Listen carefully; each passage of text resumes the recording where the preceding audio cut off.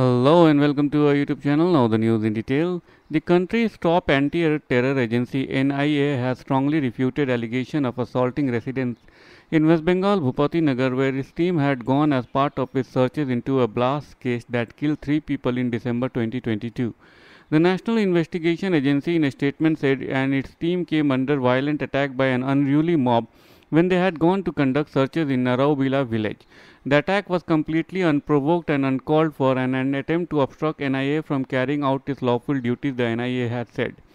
It said the searches were conducted at five locations in presence of the independent witnesses and under the security cover provided by the Central Reserve Police Force, which included women constable. The NIA had eventually arrested two key conspirators in connection with the bomb blast case in East Midnapur district. They were arrested following all lawful procedures, the NIA have said. The attack on the NIA team while they were arresting Balai Charan Maiti and Manobrata Jana was aimed at stopping the team from reaching the Bhupati Nagar police station to complete the arrest formalities.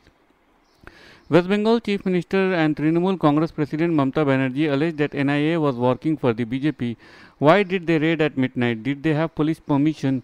Locals reacted in the way they would have if any other stranger had visited the place at midnight. Why are they arresting people right before the election? What does the BJP think? That they will arrest every booth agent? What does right NIA have? They are doing all this to support the BJP. We call upon the entire world to fight against the BJP dirty politics, Ms. Banerjee had said.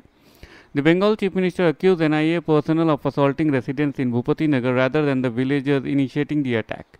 The NIA in a statement alluding to Ms. Banerjee allegation said an aggressive crowd had assaulted the NIA personnel who were taking the accused to the police station. One NIA officer was injured and an official vehicle was damaged in the attack. The NIA had filed a police complaint seeking legal action on the assailant, the anti-terror agency said. That's the end of the story. If you like the content of our video, please do hit the subscribe button, share it with your families and friends, and do not forget to post a suggestion in the comment section below. Thank you. Have a great day. Bye-bye.